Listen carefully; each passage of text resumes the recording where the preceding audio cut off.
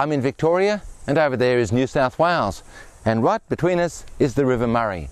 The Murray forms the border between these two states, although under the Constitution the dividing line is not actually smack in the middle, but right here where I am, on the southern highest bank. It used to be that if you lived in Victoria, you needed a New South Wales fishing licence to fish here. It shows how interesting management of the river system is. Four states, each scrambling for uh, this muddy river, this river of gold, and all for the right, the legal right, to suck Murray, Murray River water out with pipe and pump.